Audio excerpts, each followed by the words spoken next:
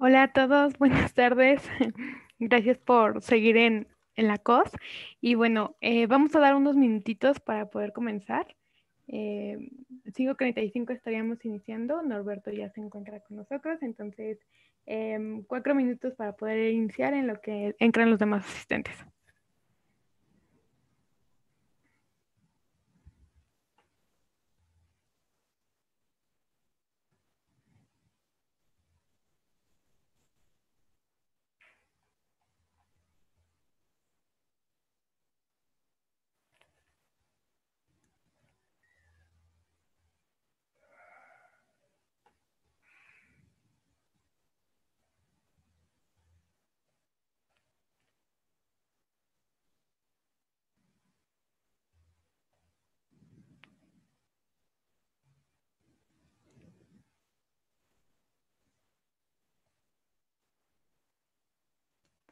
Para los que van entrando, eh, vamos a tomarnos unos minutitos. 5.45 estaremos iniciando en lo que entran más participantes.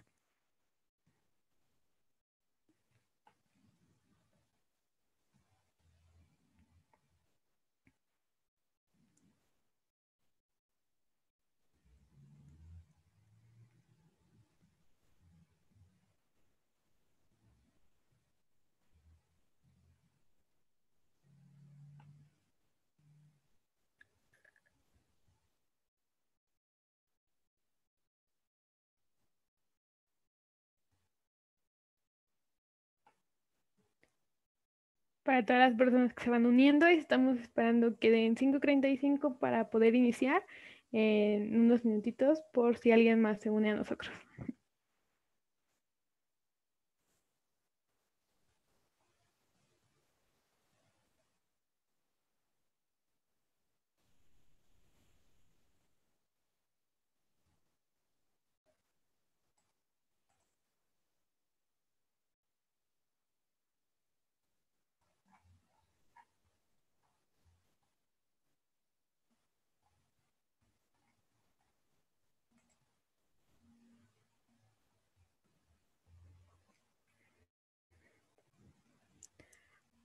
Bueno, pues creo que podemos empezar a dar inicio. Primeramente, muchísimas gracias por acompañarnos en la COS. Y bueno, ahora vamos a empezar con el taller de contribución a Elixir. Y bueno, el día de hoy nos acompaña Norberto Ortigosa. Norberto es un desarrollador e instructor con más de 20 años de experiencia utilizando una gran variedad de lenguajes, entre ellos Java, Python, Ruby, Go y por supuesto Elixir, que es sobre lo que nos viene a hablar el día de hoy. Y, bueno, actualmente colabora en Bunsan y eh, vamos a, cederle la palabra.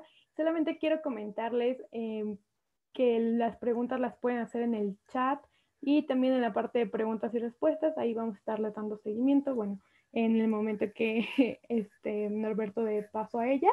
Y bueno, si alguien quiere hacer una pregunta directamente, eh, puede levantar la mano y entonces nosotros vamos a, abrirles el audio para que puedan hacerla directamente. Y bueno, sin más, voy a cederle el micrófono a Norberto. Adelante, Norberto, y gracias por acompañarnos el día de hoy. No, a ti muchas gracias, Ivette. Gracias por la, por la presentación. Déjenme compartir aquí primero mi pantalla.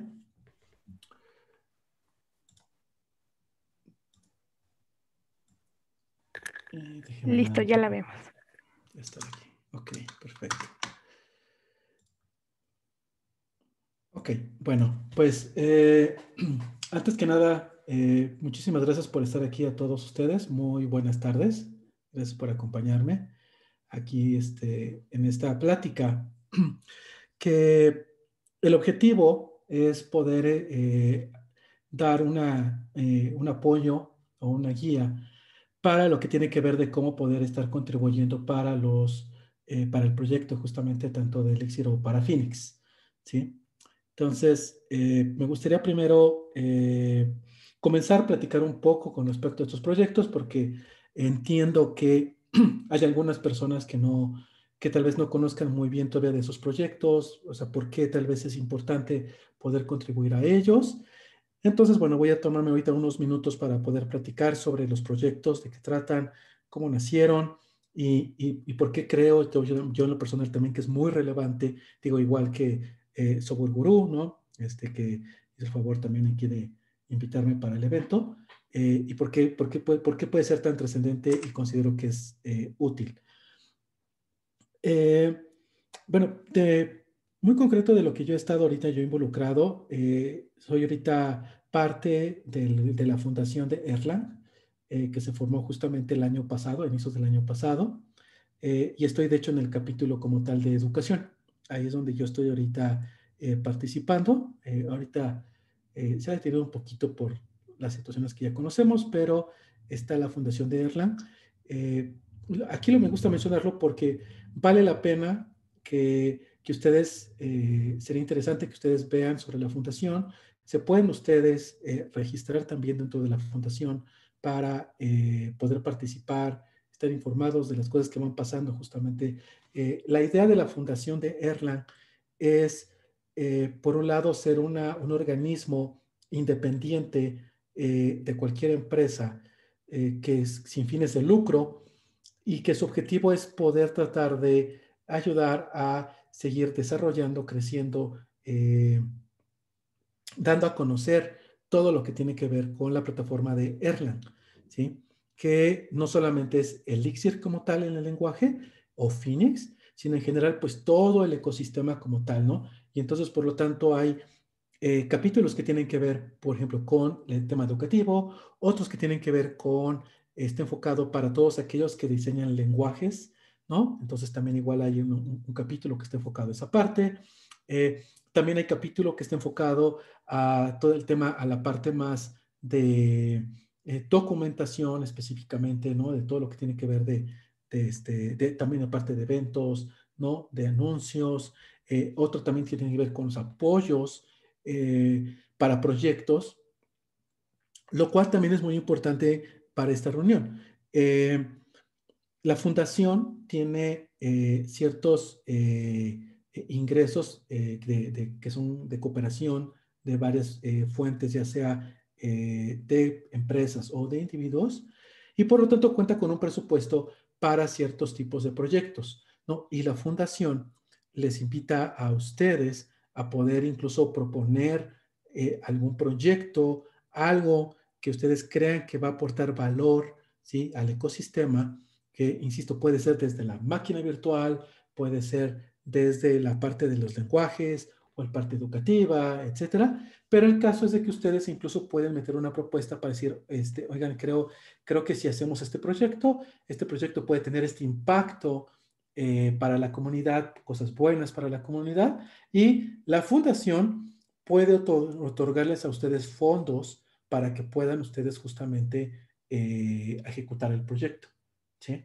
Entonces, eh, vienen ahí en la fundación, vienen las, las, las, las, bases, la explicación, eh, yo, yo, lo que les puedo dar, digo, no, las, no, no tiene caso que se las lea, más bien los invito a que lo hagan, pero lo que sí les puedo ir comentando, o sea, darles tips con respecto a eso, es que, eh, como, por ejemplo, a nosotros, a mí me llegan algunas propuestas, ¿no? Dentro del capítulo que yo estoy, eh, como parte de la base para evaluarlos y decidir si sí o si no. una cosa que con frecuencia pasa es que luego a veces mandan eh, propuestas muy, pues pareciera a veces eh, como algo muy sencillo, pero, pero es muy, muy, muy, muy escuetas, con, con, muy poca información, eh, muy poco explicado con respecto de cuál es el beneficio. ¿sí? Si ustedes van a, van a, van a, van a querer este, aplicar para estos fondos, es importante que sí dejen muy claro cuál verdaderamente va a ser el impacto de lo que ustedes, del proyecto que ustedes quieren ejecutar. ¿no? O sea, es que, a nosotros nos tiene que ayudar a, entender eh, por qué es útil, por qué el apoyar a sus proyectos eh, es útil para la comunidad, eh, qué tanta gente va se va a ver beneficiada, por qué se va a ver beneficiada, ¿sí?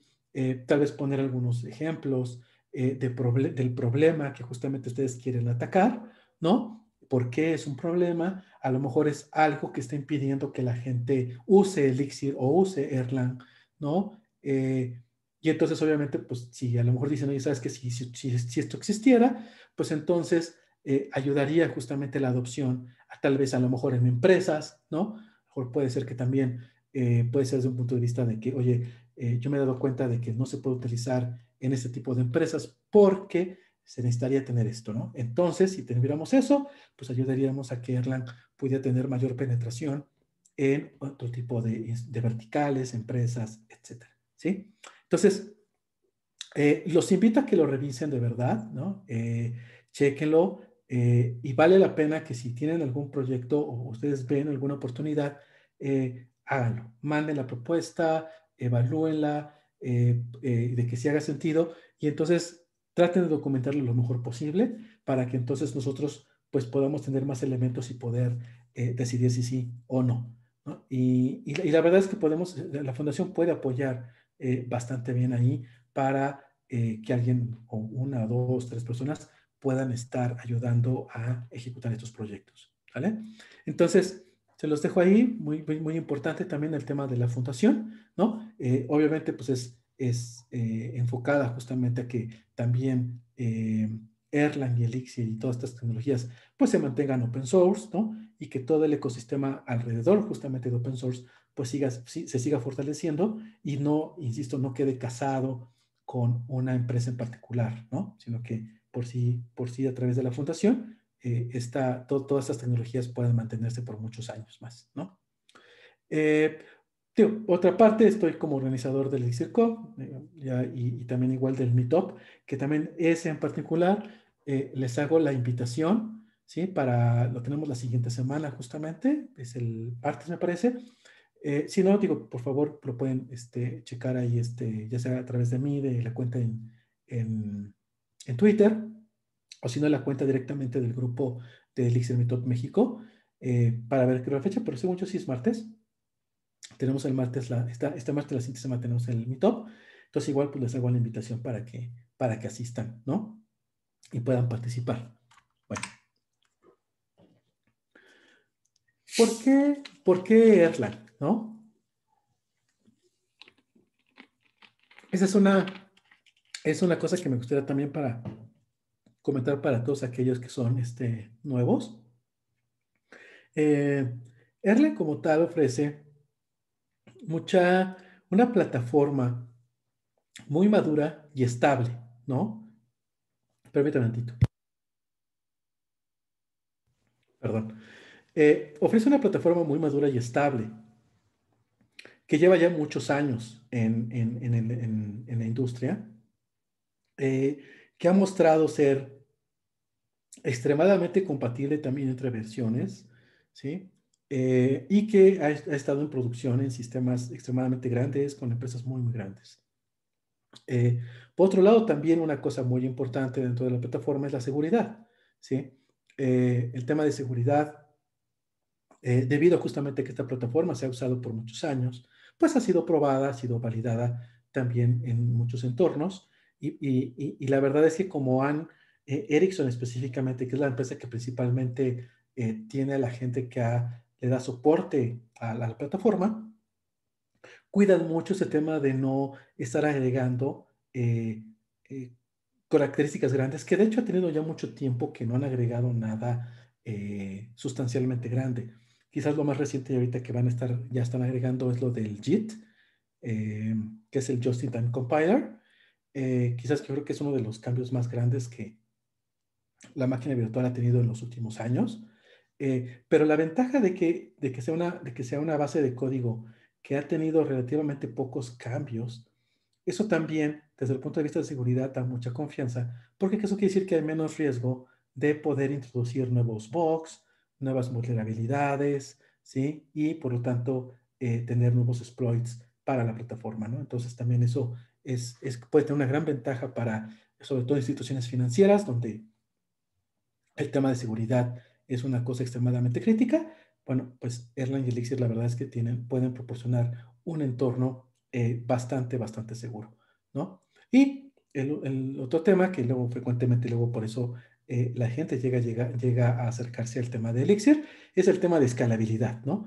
Este tema de que podamos nosotros hacer que nuestro sistema puede estar creciendo en base justamente a la demanda que podamos ir teniendo en nuestra empresa, ¿no? Con nuestro producto o servicio, ¿sí? Y que realmente esto lo pueda hacer, pues, de una manera eh, eficiente ¿no? Tanto escalar horizontalmente como verticalmente, pero que además también el costo pues tampoco se, va, se dispara a los cielos, ¿no? Sino que realmente eh, puede escalar, pero eh, que sea con un costo bajo desde el punto de vista de infraestructura y también bajo desde el punto de vista de la gente que necesita darle soporte para que eso suceda, ¿no? Entonces, esas serían yo creo que uno de los puntos importantes justamente por las cuales eh, creo que es muy valiosa la plataforma y que se me hace muy, muy padre que ustedes eh, estén, los que nos acompañan, pues que estén interesados en ver, pues cómo pueden aportar justamente para esta, para esta plataforma, ¿no? Más rápido, en el tema de, digo, fue creado en 86, eh, fue justamente un trabajo que, de estas personas que están aquí, de Joe Armstrong, Robert Brennan y Mike Williams, ¿no? Digo, ya lleva, como pueden ver, bastante tiempo. Eh, fue desarrollado en Ericsson para temas justamente enfocados principalmente para poder atacar problemas, estos tres grandes problemas, ¿no? Eh, cómo crear sistemas distribuidos, cómo crear sistemas concurrentes, ¿no? Y además que sean tolerantes a fallas, ¿sí? En, el parte, en la parte que tiene que ver con sistemas distribuidos, es, es yo creo que es ahorita uno de los temas eh, más importantes que ahorita tenemos en la industria, ¿no? Y que se ha estado tratando de resolver de diferentes maneras, algunas, eh, para algunos casos yo creo que extremadamente más complejas de lo que deberían de ser, eh, otras a veces no tan convenientes, no tan escalables, en fin, el caso es que ahorita cada vez hay un interés y hay una necesidad más grande poder justamente tener sistemas que puedan trabajar con estas tres, tomando en cuenta estas tres cosas, ¿sí? Y bueno, pues Erlang, desde que nace, desde su diseño, arquitectura, pues fue pensado justamente para poder eh, trabajar de esta manera.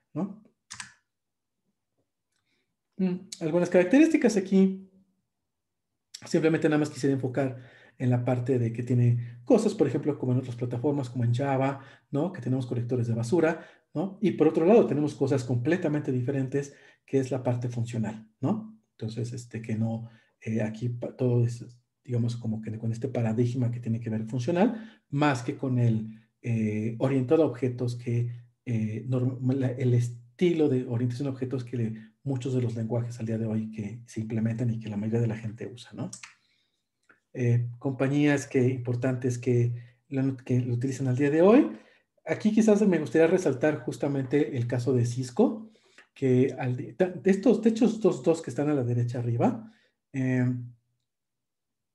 Cisco, justamente hasta, hasta hace poquito, creo que fue el año pasado como tal, fue cuando eh, hizo también así, pasado, antepasado, que hizo el, eh, pues ahora sí que el anuncio oficial de que pues todo su equipo de, de para, para, ahora sí que para telecomunicaciones, ¿no? Por redes y todo, pues utiliza Erlang, ¿no? es, es, interesante el caso porque Cisco es competencia de Ericsson eh, y Ericsson fue el que creó eh, Erlang, ¿no? Nada más que, bueno, pues ahora es open source, ¿no? Eh, de hecho, justamente es una cosa que ahorita se me olvidó poner ahí, pero Erlang como tal del 86 al 97, si mal no recuerdo, pues era, era un proyecto dentro de Ericsson y, y solamente Ericsson lo podía pues utilizar pero afortunadamente en el 97, prácticamente dos años de que eh, saliera, saliera, Java, eh, eh, Ericsson decide liberar todo Erlang ¿no? como proyecto open source y desde el 97 hasta acá, hasta la fecha, pues lo tenemos como, como tal, ¿no? Es un proyecto open source, ustedes pueden bajar absolutamente todo el código, pueden contribuir también directamente a la máquina virtual, si es que quisieran ahí, si tienen eh, habilidades o quieren aprender cómo programar principalmente en, C, este, que es lo que es en lo que está construida la máquina virtual, eh, pues esa puede ser, puede ser también una forma. Y, curiosamente Cisco, eh, pues lo que son las cosas, ¿no? después de pues algunas, algunas décadas, ¿no? Cisco, que es la competencia como tal comentaba de Ericsson, eh, pues eh, ahora ellos también usan justamente para todos sus equipos eh, Erlang. Y de hecho, cuando los de Cisco hicieron este anuncio con respecto a, a, que ellos lo usaban, comentaron que justo dieron una estadística diciendo que pues básicamente más del 80% de todo el tráfico de datos de Internet, todo el mundo eh, pasa por Erlang, pasa por un, por, un sistema hecho en Erlang que, y, y, es el responsable de poder garantizar lo que todos nosotros luego damos por hecho, que es Internet, ¿no? Entonces, eh, si hay algo a lo que le podemos dar gracias a, Erlang, en particular a la plataforma, pues es de que es el, es el, es el, el, el, héroe detrás de la cortina, ¿no? Que, que ayuda justamente a, que este Internet que conocemos pueda estar operando, ¿no? Lo cual yo creo que es verdaderamente impresionante, ¿no? Eh, y por otro lado, tenemos también a PepsiCo. PepsiCo eh, también es igual una empresa que hace pues muy poquito, este, no había pues realmente comentado mucho, de, mucho con respecto justamente a, a, su uso, o sea, de hecho nada en lo absoluto. Eh, es algo de hecho también luego muy frecuente, luego muchas de las empresas que usan eh, Erlang eh, o Elixir, como que son empresas que luego evitan comentarlo, ¿no? Porque también igual lo consideran como un tema estratégico, el hecho de que, de que de que no, de que no sepan que están utilizando Erlang o Elixir, ¿no? Y creo que PepsiCo es un, ejemplo muy claro de eso, que igual también el año pasado fue que de repente PepsiCo aparece de la nada y, hace el anuncio diciendo que todo lo que ellos llevan, todo, todo su, su área, la división que tienen de comercio electrónico, que además para empezar yo tampoco sabía que existía el área, esa área dentro de PepsiCo, eh, y está súper grande, eh, pero resulta ser que todos sus sistemas eh, de e-commerce los tienen hechos justamente con Erlang y Elixir, ¿no? Y a partir de ese momento, a la fecha ya han estado haciendo un poco más de ruido, han estado más eh, visibles, participando justamente con, este, con el ecosistema. Entonces, pues igual, este, creo que es bastante notable porque es también de otra, otra, otra parte donde jamás nos podríamos imaginar, ¿no? Este, entonces, pues bueno, ese es otro, otro caso que me gustaría resaltar, que son, digamos, como de los recientes, ¿no? Insisto, hay otros muchos más, ¿no? Este, obviamente, claro, el de, el de, el, de, el de WhatsApp, ¿no? Que es el, quizás el más, sonado por todos los temas de lo que implicó en, en, en cuanto lo vendieron, la cantidad de ingenieros con los cuales construyeron. Pero bueno, la verdad es que en el caso de WhatsApp, lo relevante también es cómo al día de hoy han podido seguir justamente escalando eh, la operación ahorita no sé, desconozco exactamente ahorita ya cómo anden, pero yo creo que fácilmente están alrededor de, van a andar ya como de los 700 millones de usuarios concurrentes, o sea, de gente que lo está usando todo el tiempo. Eh, y pues la verdad es que eso, este, pues habla mucho de que el equipo además sigue siendo muy compacto, ¿no? Y que han podido seguir operando, ¿no? Eh, ha tenido fallas, ¿no? Que conocemos, sí, claro, pero creo que creo que es importante darse cuenta de, que ya, ya, llega a fallar, pero creo que es muy difícil para, o sea, vamos, yo, yo no logro todavía dimensionar o, de verdad yo entender el, tamaño que realmente eh, está manejando WhatsApp en número de gente, ¿no? Y número de tanto este, mensajes, videos, imágenes, o sea, es, algo que de verdad, o sea, no, ni siquiera yo me puedo imaginar cómo es, ¿no? Eh, entonces, pues híjole, el hecho de que de repente si llega a pasar algo, pues estamos hablando de escalas verdaderamente eh, enormes, ¿no? Eh, ahorita estoy viendo aquí lo de eh, un comentario de lo que decían de Java, ponen aquí de Java factorial de 100 y, muere la, la, la VM. hay cosas para los, que, para los cuales la, la JVM está optimizada, ¿no? y, y para, para, para, ciertos escenarios la, la, JVM es, es, extremadamente buena y útil, ¿no? Eh, yo creo que para el caso muy puntual de lo que platicamos ahorita de estos temas, ¿no? La BIM es donde realmente sobresale, ¿no? Y ahí es donde están sus fortalezas, ¿no?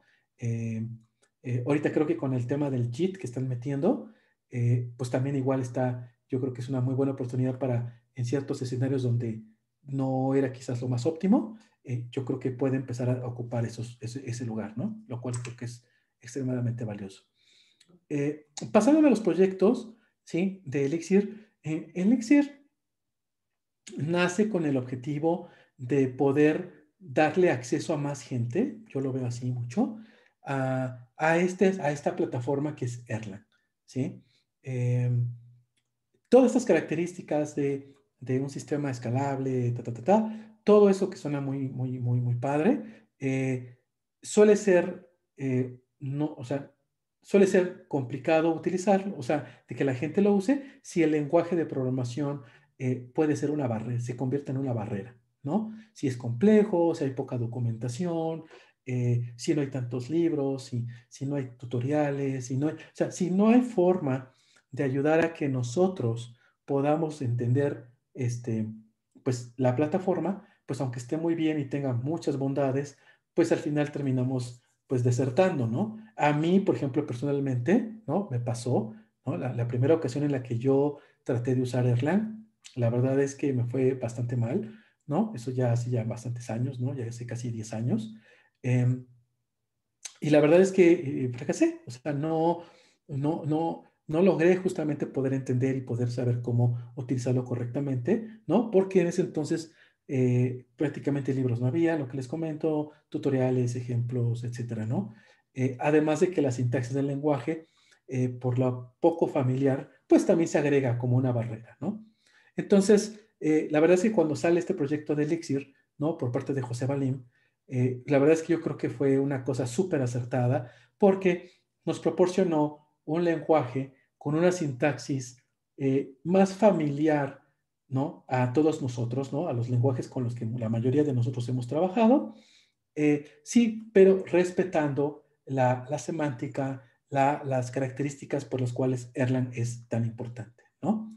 Además, también eh, agregaron una gran cantidad de herramientas, eh, que también igual yo creo que eso tiene un peso impresionante, porque pues también igual ayuda a que la gente, pues normal, como nosotros, eh, pues sea más fácil poder entender. Oye, eh, que quiero crear un proyecto, pues bien fácil, ¿no? Quiero correr pruebas eh, unitarias, igual, o automatizadas en general, también se tiene. Este, soporte para los editores, también. Buena documentación, base, donde viene todo lo que es el, de la plataforma, también. Entonces, creo que, creo que Elixir ha venido justamente a, cubrir un, un rol muy crítico para poder hacer más eh, accesible ¿no? La, esa tecnología a muchos más de nosotros. ¿no? Entonces, eso, es, eso creo que es, muy importante. Aquí está, ahorita estamos con la versión ahorita, al día de hoy, la, la más reciente es la 1.11.1. ¿sí? Eh, y me paso a, a, Phoenix, que es el otro proyecto del cual este, vamos a platicar, de hecho, en esta ocasión muy puntualmente para, eh, para el tema de contribución. Phoenix es el, es el framework para hacer aplicaciones y servicios web, ¿no? Eh, sería el equivalente, por ejemplo, a un, em, que sería a Django, por ejemplo, en el caso de Python, eh, o, o, de Ruby on Rails en el caso de Ruby, o, por ejemplo, parte de lo que es Spring, ¿no? O sea, lo que es Spring Web, por ejemplo, en el caso de Java, etcétera, ¿no? Entonces, eh, Phoenix viene a, a cubrir esta parte también, que definitivamente es muy importante, ¿no? Porque eh, como, lo, como, lo hemos, como lo he platicado con varias personas, eh, pues el hecho de que otra vez podemos tener una, una, una, máquina virtual excelente, podemos tener bibliotecas excelentes, podemos tener eh, ahora ya un lenguaje más fácil de entender, pero si me dicen, oye, tienes que hacer desde cero este, completamente un web service o tengo que hacer una aplicación web desde cero, híjole, pues ya, este, pues la verdad es que no tengo tiempo para, para poder estar haciendo eso así, ¿no? Entonces, Phoenix viene a cubrir muy bien esa parte, tiene una, un, módulo que es ECTO, que es, una, es la forma para poder acceder a eh, bases eh, relacionales y no relacionales, que la verdad se me hace, se me hace muy, muy interesante. Eh, tiene un sistema de plug que tiene que ver justamente para poder estar manejando el tema de los requests, de cómo se procesan, una especie de mecanismo de pipeline. Eh, es extremadamente rápido, la verdad es que sí, es, sorprendente eh, lo rápido que justamente eh, funciona Phoenix, ¿no? Y además con un consumo de recursos extremadamente bajo. Y algo que igual también va ligado con lo que voy a presentar ya al final, es esta parte también de lo del IBO y lo que se está haciendo con todo este tema de tema de WebSockets y toda esta parte que eh, ahorita está tomando muchísima fuerza y que los invito a, quienes, si a lo mejor No, a ver, independientemente si ya llevan tiempo trabajando a lo mejor algo con Phoenix o apenas se están integrando aquí a la comunidad, eh, Live, View definitivamente es algo que ustedes tienen que revisar. Créanme que cuando lo vean y hagan algunas cosas con Live View, de verdad se van a llevar una grata sorpresa y van a sentirse, híjole, o sea, van a, creo, creo, creo que les va a dar mucha emoción y se van a sentir muy a gusto tratando de, justamente de, de seguir haciendo cosas con Live View, ¿no? Entonces, pues ahí está. Eh, para esta plática, ¿sí? Eh, y este taller, eh, busqué a este José Balín, ¿no? José Balín, de hecho, estuvo aquí en México hace unos años y, y le comenté sobre, sobre esto, ¿no? Sobre el taller. Y, y le preguntaba, oye, José, mira, ¿cómo ves tú? ¿Tú qué piensas de, de qué sería bueno, a lo mejor qué cosas valdría la pena poder platicarle a la gente, ¿no? Para ayudarle a, a impulsarlos a que contribuyan más a, a este proyecto. Eh, y, y me, me, hizo recordar esta parte, ¿no? Eh, por un lado, digo, esto es enero del 2019, ¿no? Todos los contribuidores, ¿no? Todo lo que se ha hecho, ¿no? Que obviamente ha crecido.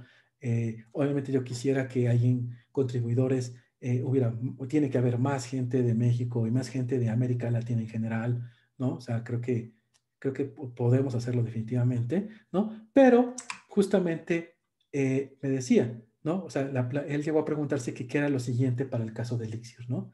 Y entonces, eh, José Balín comentaba, mira, dice, mira, Norberto, eh, yo creo que contribuir a Elixir como tal el lenguaje no tiene, la, como que ahorita no tiene mucho caso, porque ya entramos a, el lenguaje como tal ya está en el modo mantenimiento, ¿sí? ¿Qué quiere decir eso? Quiere decir que el lenguaje prácticamente ya no va a tener ningún cambio importante, ¿sí?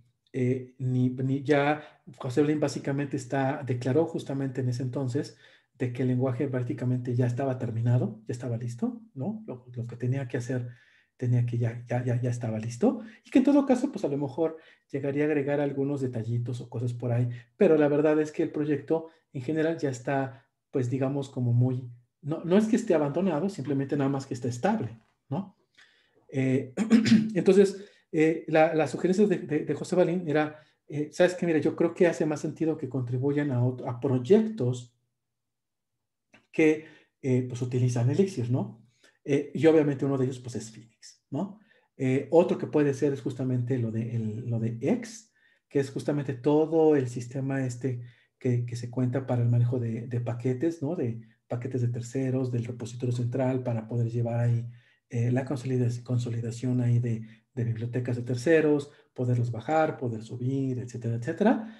Ese, por ejemplo, me decía que también eh, podría ser un muy buen proyecto. Entonces, también igual eh, se, los pongo, se los pongo en la mesa, ¿no? Él me decía que creo que valdría la pena tocar base con, con el equipo de ellos para ver de qué manera podíamos ayudarlos. Pero en general, la, la, el mensaje de José Balín fue, eh, contribuyan a, otros proyectos. O sea, ya el, e, e, Elixir lenguaje no, más bien ayuden a que los otros proyectos crezcan, ¿no? Phoenix, X, este, eh, NERVS, que es la parte que tiene que ver el proyecto este para, para sistemas embebidos, este, etcétera, etcétera. O sea, drivers, por ejemplo, para, para soportar más manejadores de bases de datos en la parte de Ecto, etcétera, ¿no? Entonces, ese sería, digamos, como que la, la recomendación de José Balín, se las paso a ustedes para que la tomen en cuenta eh, y que entonces, eh, pues ver después de este taller, igual quien pueda estar interesado, eh, me puede contactar y podemos, yo lo puedo guiar y lo puedo ir también ir apoyando para ir contactando y viendo la, en el día a día para este tema de cómo poder ir, ir contribuyendo a ese tipo de proyectos. ¿De acuerdo? Entonces, ese es, ese es básicamente el mensaje con respecto al tema de contribución. Y ya para cerrar esta presentación, eh, me gustaría mostrarles justamente este stack, ¿no? Que siempre lo veo útil, ¿no? Esta gráfica para ir ubicando qué es dónde estamos colocados, ¿no? Entonces tenemos la máquina virtual que está hasta abajo, tenemos todas las bibliotecas, eh, herramientas de monitoreo, OTP, etcétera, ¿no? Que está arriba justamente de la máquina virtual, ¿no? Que utiliza la máquina virtual. Y arriba de ello tenemos pues, los lenguajes de programación, LFE, que es un tipo Lisp, Erlang, que es un tipo Prolog, ¿no? Elixir, ¿no? Que conjunta cosas de C Sharp, Clojure, Ruby, Python, etcétera, ¿no? Y hasta arriba tenemos las herramientas, ¿no? Que es ahí justamente en esta capa, en esta capa que estamos ahorita ahí hablando, ese es justamente donde estamos con el tema de Phoenix, ¿sí? Y ahí es donde ahorita este, nos vamos a empezar a enfocar y vamos a platicar cómo es que podemos ir eh, pues compartiendo justamente este, nuestro apoyo a la comunidad. Eh, a ver, entonces aquí justamente puedo hacer ya la primera pausa para poder platicar sobre el tema de dudas. A ver, entonces, ah, a ver, veamos, aquí tenemos, dice, ¿qué tan compatible es Elixir Erlang para trabajar con bibliotecas destinadas a Python? Esto ya que Python ha tenido una gran incursión en el campo científico y no sé si es un área que esté pues, protegida por parte de Erlang Elixir. Mm, esa, muy buena, esa es una muy buena pregunta. A ver, eh, la Erlang, ¿sí? Un sistema hecho en Erlang o en Elixir, ¿sí? Eh, ustedes pueden mandar llamar a ejecutar eh, programas que estén hechos en Python. ¿sí? O sea, de hecho, en un sistema, uno de los sistemas, digamos, más complejos o grandes que hemos hecho nosotros, eh, justamente usamos, hacemos eso. Eh, Erlang tiene la capacidad, tiene, tiene un concepto que se llama procesos, ¿no? Procesos similares a los de un sistema operativo. Y lo que puede hacer utilizando este mecanismo Erlang es mandar llamar, ejecutar programas que están fuera de la máquina virtual, ¿sí? Fuera de esta cajita que se está viendo aquí, ¿sí? De la de la BIM, ¿sí? Corriendo en otro proceso del sistema operativo y la máquina virtual puede estar supervisando y verificando ese programa que se está ejecutando. Ese programa puede estar hecho en cualquier lenguaje. Java, C Sharp, Python, Ruby, etc. ¿Sí? Ahora bien, hay una biblioteca, ¿sí? Que les permite, igual y ahorita eh, en, un, en, un, inter, hago, a ver si se las puedo pasar ahorita. Eh, si no, en las notas, bueno, ahorita veo, ahorita que me apoyo ahorita con Ivette, para ver justamente cómo se los hacemos llegar y les paso la referencia. Hay un proyecto, ¿sí? Que tal vez justamente pudiera ser algo interesante eh, de poder contribuir. ¿sí? Hay un proyecto que permite o facilita más bien esta integración, ¿sí? De cómo yo, por ejemplo, desde, desde Elixir, yo puedo mandar a ejecutar algo a una biblioteca hecha en Python, ¿no? Un programa hecho en Python, que el programa de Python haga lo que tiene que hacer y me devuelva la respuesta. Y yo la tomo del lado de Elixir, ¿sí?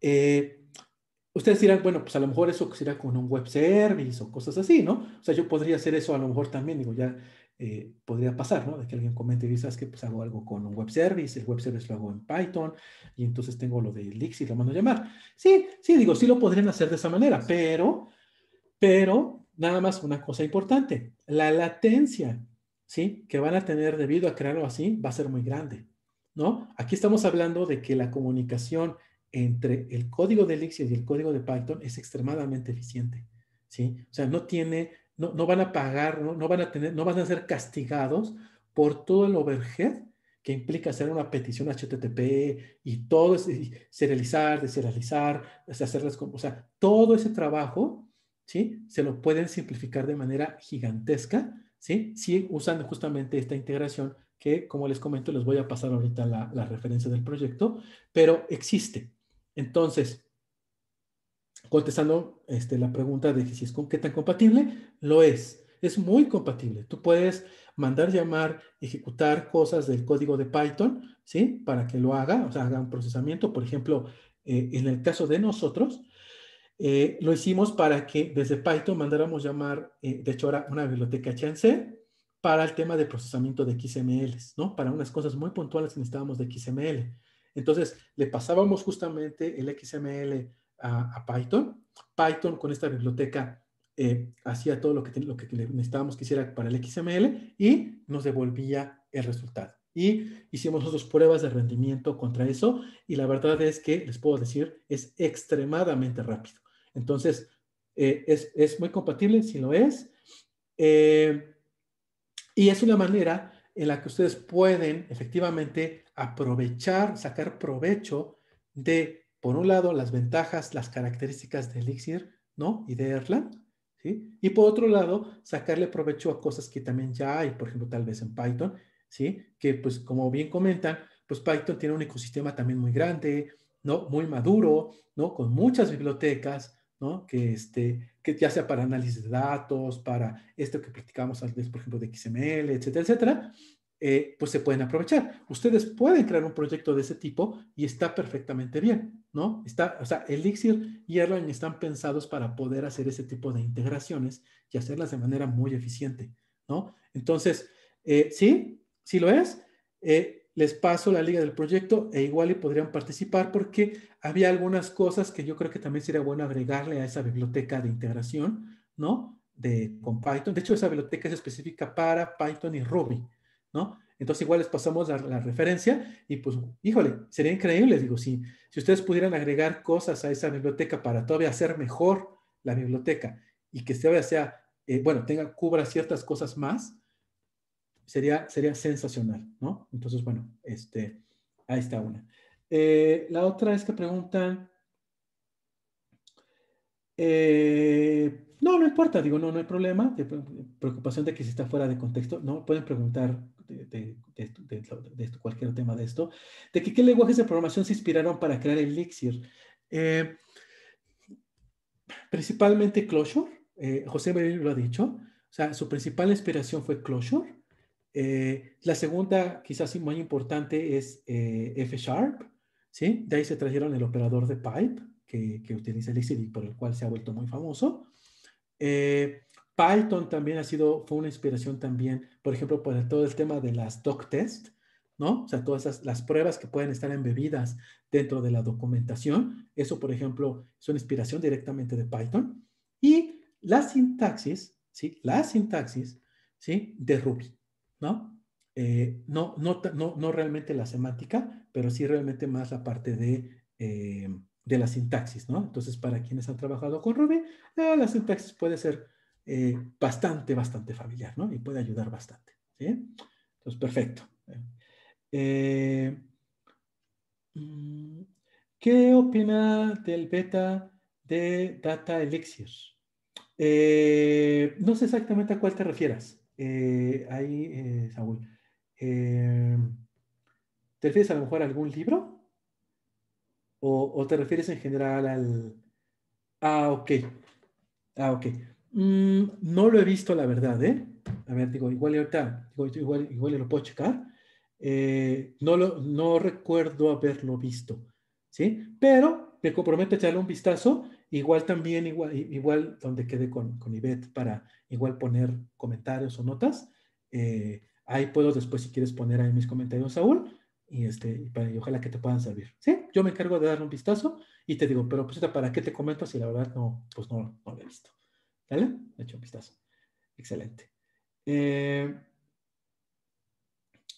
a ver, eh, otra pregunta dice que, que, uno de los puntos fuertes del Excel es el tema de concurrencia. Eh, ¿Cómo ves comparativa con Go con respecto a ese tema? Ok.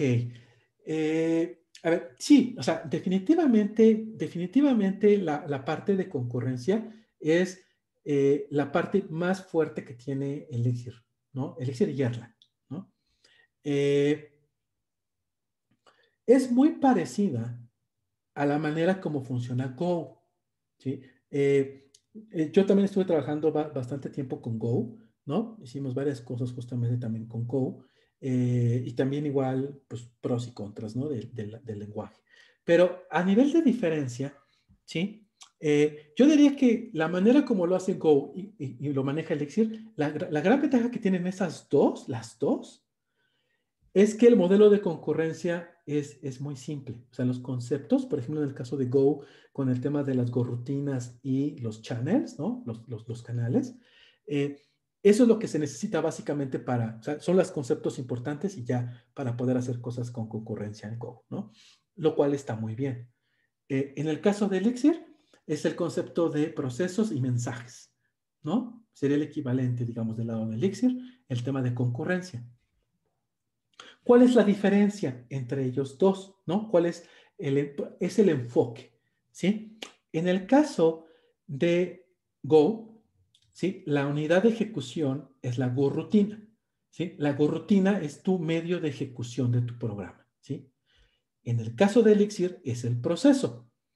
¿sí? El proceso es la unidad, es, la, es el mecanismo por el cual tú ejecutas código de manera independiente. ¿sí? Entonces tienes Go rutinas, procesos. ¿sí? ¿Cuál es la diferencia entre ellos? La el proceso tiene un identificador único. ¿sí? Tiene, tiene un ID, tiene una identidad. La Go rutina no lo tiene. ¿sí? No tiene identidad. ¿sí?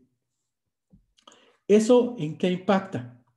Impacta en que en el caso de Elixir yo puedo hacer referencia a la unidad a través del nombre, ¿no? Para pedirle hacer cosas, justamente a través de los mensajes. En el caso de, Go no puedo hacer eso, ¿no? O sea, yo no hay forma de que yo pueda hacer referencia a, una Go rutina como para decir, oye, quiero que tú hagas esto, ¿no? La única manera en que yo le puedo pedir a, una, a, que haga algo es porque yo le pase algo a través de el canal, ¿sí? El canal es el medio para poder yo pasarle, y el canal sí tiene nombre, ¿sí? Del lado de Elixir, lo que yo tengo son los mensajes, y los mensajes no tienen nombre, ¿sí? Entonces, si se dan cuenta, es como si estuvieran volteados, ¿no? La unidad de ejecución en Go no tiene nombre. En Elixir sí. La, el medio para mandar el mensaje tiene nombre. En el caso de Elixir no. ¿Sí? Entonces, no es que uno sea peor o mejor es más bien que para ciertos escenarios, ¿sí? Para ciertas topologías, bueno, quiero usar esa palabra, para ciertas formas de poder diseñar el sistema, ¿sí? El poder utilizar eh, el mecanismo de Go puede ser más natural y en otras arquitecturas, en otros diseños, la forma de Elixir es, más natural. ¿Sale? Entonces, yo creo que las dos eh, tienen la ventaja que son simples, más simples por mucho que usar threads. Eh, y nada más simplemente que tienen enfoques diferentes de cómo, eh, qué, nombran y qué no, cómo poder pasar los, datos. Y eso provoca que, pues, insisto, en algunos casos sea uno, para unos escenarios es más natural usar Go, para otros es más natural usar este Elixir. ¿Sí? Ese sería mi comentario justamente para, para el tema de mi opinión con respecto a Go y, la, concurrencia con Elixir. Pero eh, a mí me gustaría, para mí la gran ventaja que tiene, y a mí lo personal, porque me gusta mucho la concurrencia de cómo está hecha en Elixir, es porque yo creo que es la, manera de procesos con mensajes está pensada para justamente crear servicios, cosas que tú quieres que estén corriendo, o sea, por mucho tiempo de manera ininterrumpida. Y eso encaja muy bien en servicios. ¿Sí?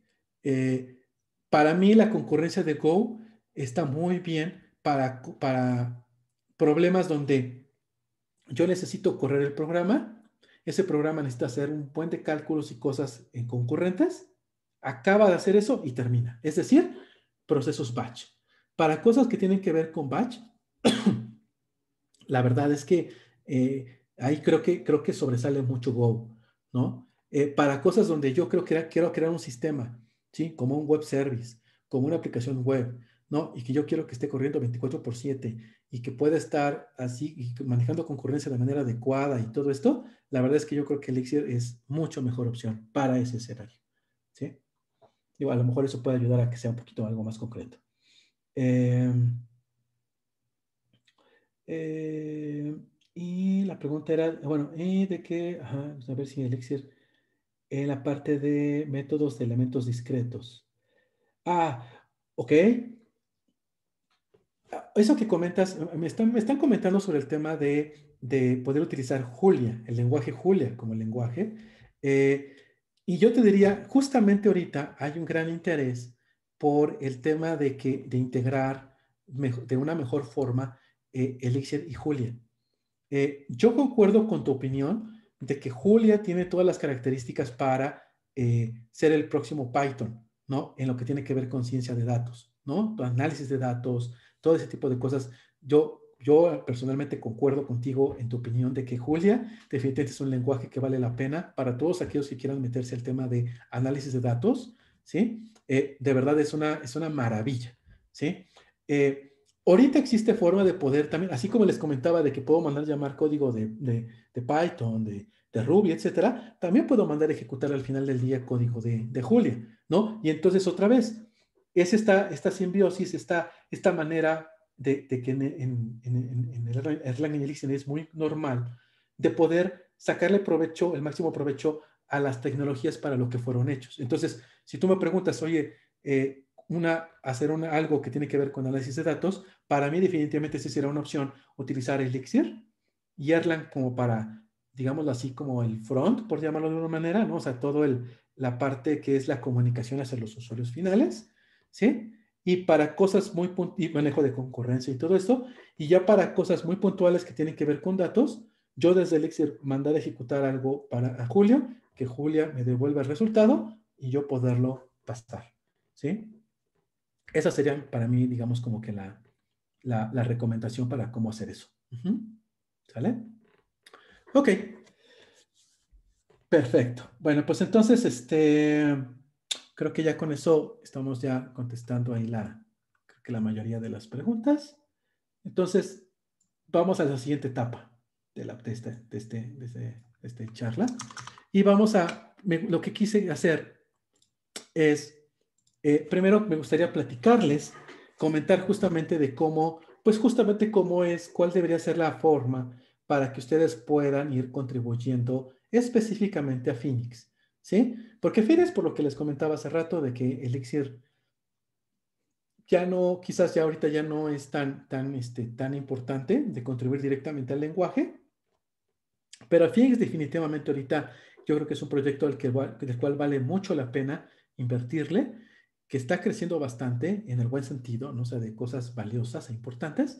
Entonces, vamos a platicar justamente sobre Phoenix y, la, y, el equipo de Phoenix, qué es lo que nos recomienda para poder hacerlo. Entonces, para empezar, ¿sí?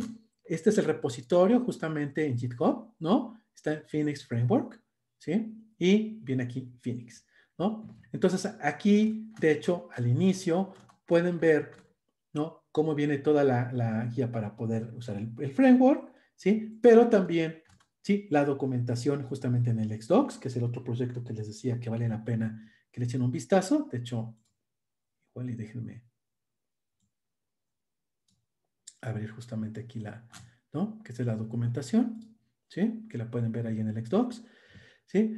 Y viene la parte de cómo pueden justamente contribuir, ¿sí? Entonces viene, o sea, eh, yo creo que eh, una de las cosas que también a mí me ha gustado mucho de la comunidad eh, alrededor de Erlang, eh, Elixir, Phoenix, Nerves, X, etcétera, es que los, las, personas que, han que están a cargo del proyecto ¿sí?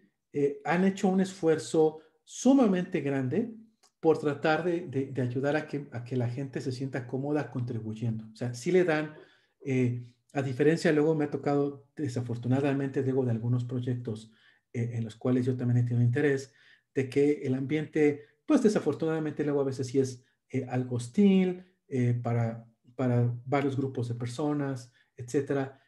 la verdad es que en el caso de, de, de Elixir Phoenix, les puedo decir que van a tener una grata experiencia, ¿no? creo que eso es importante porque yo sé que luego a veces, luego mucha gente se retrae de poder participar, porque luego también se han enterado justamente luego de estas malas experiencias, ¿no? Donde quieren contribuir a algo y este, los tratan con desprecio o a veces no, no, los, no les hacen caso, este, etcétera, etcétera, ¿no? Eh, la verdad es que les puedo decir que aquí en, estos proyectos el, el ambiente, la, la, la, este, el, el, apoyo que hay por parte de, de, las personas responsables de estos proyectos, la verdad es que es excelente, ¿no? O sea, eh, yo sí puedo constatar de manera personal cómo ellos les preocupan mucho por eso, toman muy en serio eh, si alguien comete una falta, ¿no? De insultar, agredir eh, a alguien de la comunidad y toman, sí toman cartas en el asunto, ¿no? Entonces, para todos aquellos que tal vez les ha llegado a pasar o les preocupa que les pueda pasar, créanme que de verdad aquí en estos proyectos, en este, por ejemplo, en el caso de Phoenix, no van a tener ese problema, ¿sí? Este, de verdad se los puedo de verdad asegurar que van a poder trabajar súper bien. Y de hecho ahorita, en la última etapa, en la tercera etapa de, esta, de este taller, quiero justamente mostrarles un ejemplo muy concreto de eso y que puedan ver justamente en un ejemplo real cómo es que ustedes deberían de hacer una contribución justamente, ¿no? O cómo podrían hacer una contribución a este proyecto, ¿sale?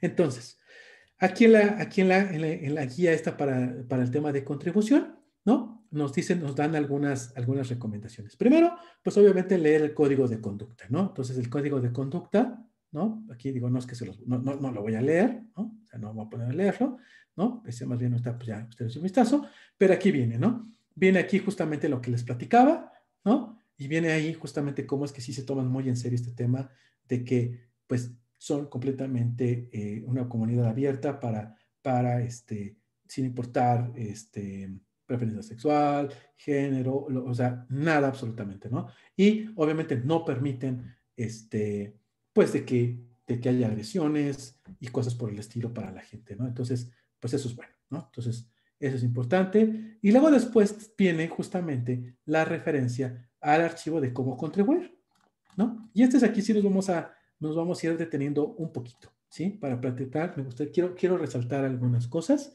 eh, sobre esto. Primero, les recomiendo ampliamente, ¿sí? Que ustedes entren, al, se suscriban o se registren aquí al Elixir Forum, ¿sí? El Elixir Forum eh, eh, a ver, existe también el Slack, también existe también por, Freenode, pueden entrar, este, pueden también igual tener las conversaciones. Eh, obviamente, pues si alguien prefiere Slack, pues adelante, o prefiere Freenode también. A mí en lo personal me gusta mucho el, el, formato y la manera como está estructurado el Elixir Forum, ¿sí? Y tiene justamente subsecciones que son específicas para, para proyectos. En este caso, por ejemplo, Phoenix, ¿sí? Entonces, aunque está el foro, este foro general para, para poder estar haciendo preguntas, que también igual los invito mucho a ustedes jóvenes que entren al foro, eh, también igual eh, la, de nadie yo he tenido un mal comentario del foro, sea, de que igual también de que se le trate este, de manera, este, se le discrimine, etcétera. Eh, la verdad es que puede entrar al foro, la gente es súper amable, les van a contestar, van a hacer todo lo posible por contestar sus preguntas, sus dudas, este, José Balín, bueno, él no, no, o sea, yo no sé a quién las duerme, porque de verdad ven que se contesta por todos lados, ¿no? Este, aparece por todos lados. Este, es alguien que también constantemente está ah, este, poniendo el ejemplo de, de poder estar apoyando a la gente. Entonces, igual, primer paso, suscríbanse aquí al foro, al Elixir Forum, ¿no? Créanme que va a valer la pena, van a poder checar ahí preguntas seguramente que a lo mejor ya, ya se fueron contestadas o, si ustedes tienen, no tengan miedo de hacerlo y adelante. Eh, recomendación cuando tiene que ver en el tema de preguntas, eso también hay como tip, ¿no? Para todos ustedes. Eh, es importante que formulen también igual, o sea, tómense el tiempo de formular eh, bien sus preguntas, ¿no? Eso es importante, porque aunque la gente sí, y, este foro, lo que sea, ¿no? Eh, pues recordemos que al final del día, pues es, es, es, es la ayuda eh, pues altruista de, de, la gente que está. O sea, no es su obligación contestar, ¿no? Luego a veces, de repente, si luego se nos olvida y pensamos que, que pareciera que es como si su obligación de que nos contesten, pero la realidad es que no lo es, ¿no? Lo hacen, pues, pues lo hacen por gusto, ¿sí? Entonces, yo creo que una, una forma de nosotros, que a lo mejor tenemos alguna duda, alguna pregunta, ¿no? Eh, pues la, manera de cómo podemos, eh, pues de una manera eh, agradecer eso, pues es tomando tiempo para poder preguntar, estructurar bien la pregunta, ¿no? Eh, ¿Qué significa eso? De que si, por ejemplo, de repente tienen algún error, les parece algo, pues que traten de documentar, o sea, poner bien el error, qué fue lo que les salió, cuáles fueron los pasos que, que hicieron para que les pasara el error, etcétera, etcétera, cuál fue el mensaje de error, o sea, en fin, o sea, que trate de describir lo mejor posible, ¿sí? La situación para que las personas del foro los puedan apoyar, ¿no? Porque luego a veces, pues me ha tocado ver, ¿no? De que luego a veces, eh, luego pues, es una pregunta, oye, es que me salió un error, ¿no? Y pues, híjole, pues para empezar, ¿y qué error fue, no? Este, eh, Entonces es muy complicado, obviamente, de esa manera, pues poder ayudar, ¿no? Entonces, esa sería nada más mi sugerencia también ahí de cuando ustedes quieran eh, hacer alguna pregunta, pues eh, en cuenta. Chequen si no hay una pregunta ya hecha anteriormente también, ¿no? Luego también esa es la segunda, tal vez luego que pasa, ¿no? Entren, chequen y, busquen para ver si hay alguna duda o pregunta ya previa igual a la de ustedes o equivalente y pues a lo mejor ya está contestada, ¿no? Entonces, para que no tengan que tener que volver a hacer la pregunta, ¿sale? Ok, entonces, pasándome justamente a el tema de continuar aquí con la construcción. Entonces, el foro, ¿no? Pueden hacerlo, o si no, les digo, entren a cualquiera de los otros sitios. Ahora, para el tema de reportar box, ¿no? Que también es una forma de contribuir, ¿no? A veces también luego a veces pensamos que, que simplemente eh, haciendo código vamos a poder contribuir al proyecto. La verdad es que no. Eh, eh, también también no es, no es trivial hacer un buen reporte de bug, ¿no? O sea, también requiere tiempo, calma, ¿sí? Pero si ustedes lo hacen, también van a ayudar y van a aportar muchísimo al proyecto, ¿sí? Entonces aquí vienen justamente las referencias de cómo, o sea, las guías, ¿sí? Para poder justamente hacer el reporte de bugs, ¿no? Las básicas, que es, oye, pues busca si el bug también no ha sido reportado anteriormente, ¿sí? Si el, la, el, el, bug ya fue arreglado, ¿no? Ya, ya, ya se corrigió de alguna manera, ¿sí? Y la otra que es importante es los pasos, otra vez lo que les decía hace rato, el desglose de los pasos, ¿sí? Para que ustedes puedan decir, a ver, mira, paso uno, hice paso dos, paso tres, etcétera, para que entonces puedan ustedes dar mejor información y la gente pues pueda este, ayudarles, ¿no? O pueda incluso reportarlo. Hay, hay ejemplos de gente que ha estado, reporta, reporta issues, y la verdad es que el equipo contesta, híjole, a veces en minutos, ¿no? Y a veces se resuelve y todo, incluso hasta se sube y, y ya se tiene el commit, etcétera, ¿no? Entonces, eh, la verdad es que también pueden saber de que si, si, llenan bien, o sea, o hacen lo necesario por llenar bien su, su bug, bueno, el reporte del bug, este, la verdad es que el equipo va, va, a ayudar a contestar de manera muy, muy rápida, ¿no? Eh, cosas que tienen que ver con peticiones a requerimientos, es, es, es en, el, en, el, en, el, en el foro, en el, en el mailing list también igual, que se me olvidaba, pero también está. ¿no? Este, la lista de correo, ¿no? Ahí, es, ahí ese es el lugar, ¿sí? Este, para no contaminar otros espacios, ¿no? Cualquier cosa que ustedes digan, ah, es que me gustaría que tal vez tenga esto, ah, bueno, pues ahí, ¿no? Este, otra vez, recuerden siempre, eh, es, es, es, es, una cortesía el hecho de que si van a solicitar algo, pues también igual traten de, de justificar lo mejor posible, ¿no? Redactar bien el, cuál es la problemática, cuál, o sea, cuál es la situación, eh, cuál creen que debería ser la solución, por qué creen, a lo mejor dar un ejemplo de, de, por qué es importante eso, etcétera, etcétera, ¿no? Para que entonces igual también su petición de, de algún requerimiento, pues sea, se pueda tomar en cuenta, ¿no? ¿Sale? Entonces, estemos. Eh, sí, esos, esos son los foros, ¿sí? El Elixir Forum, ese que pone ahí, que, que estás ahorita comentando, Isaac, sí, ese es, ese es el foro. ¿sí? Y, el, y la primera, pues es la, el sitio principal, ¿no? El de Phoenix Framework es el sitio principal de, de, del proyecto. Uh. Ok. Eh, ahora, la otra cosa en la que pueden contribuir, pues es la documentación. Por supuesto que la documentación, ¿no? Eh, aquí vienen también las guías de cómo hacerle, denle una leída. Eh, aquí el tip importante es que en la documentación siempre piensen que tienen dos secciones. La primera parte debe ser muy breve, explicando ya sea la función o el módulo, pero tiene que ser menos de 80 caracteres, ¿sí? Ese es, digamos, el primero. Y en el segundo ya pueden ahí, sí, ya poner ahí todo lo demás detalle de la explicación con respecto a la documentación, ¿no? Pero ese sería, digamos, digo, lean con más detalle esto, los ejemplos y todo, pero el, aquí el mensaje más importante es ese, ¿no?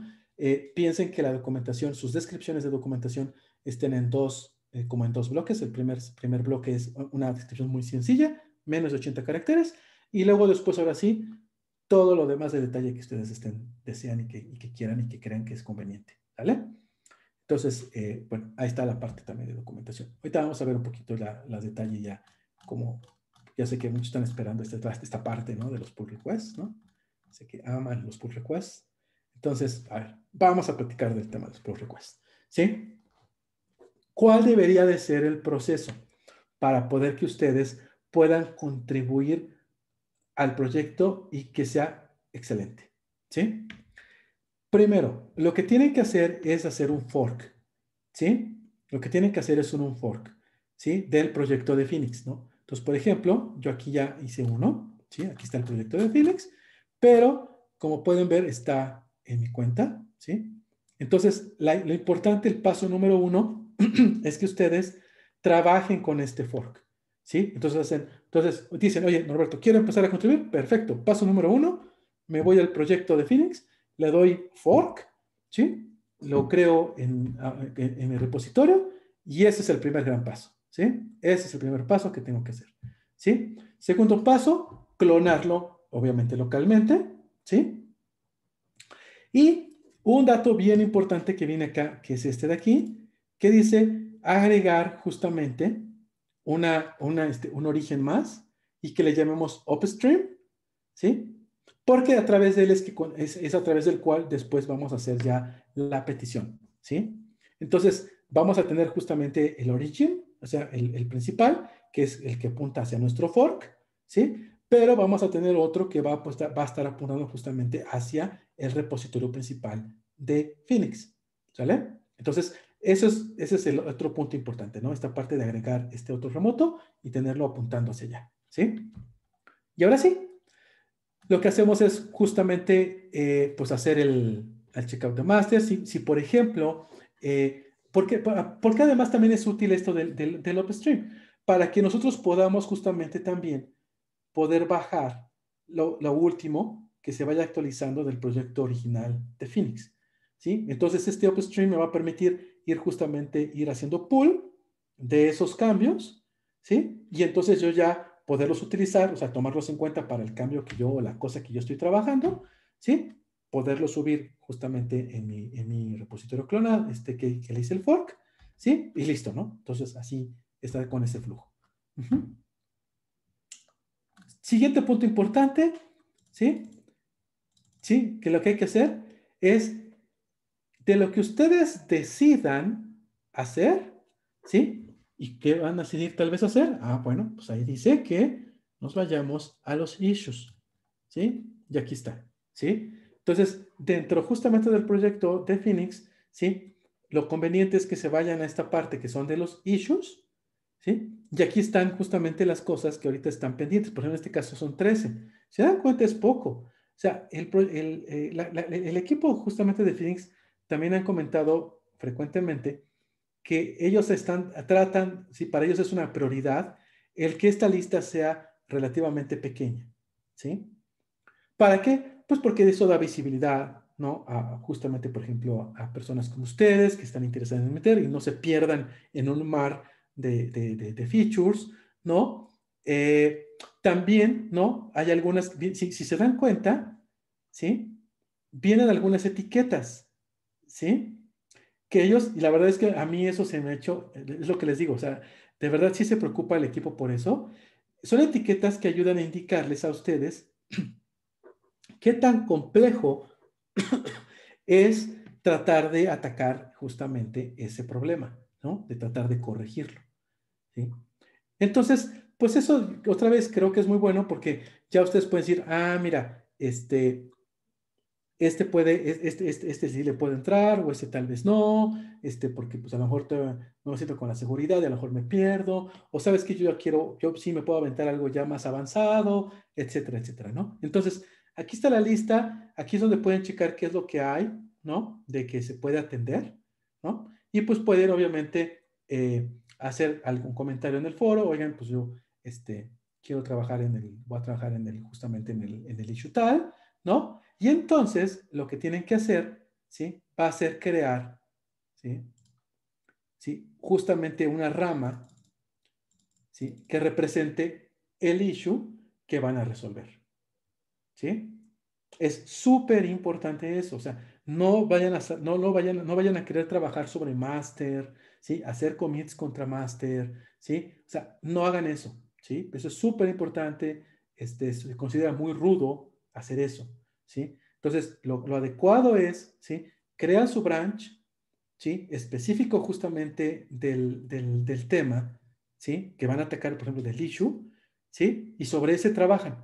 ¿sí? Actualizan de, del, del upstream, actualizan para tener actualizado, ¿no? Y no vaya a ser que se, les vaya algún cambio posterior a, posterior a que hicieron ustedes el fork y el clon, y trabajan sobre, sobre, sobre, sobre, su, sobre su branch, ¿no? Entonces ahí lo trabajan, lo van haciendo, etcétera, etcétera, ¿sí?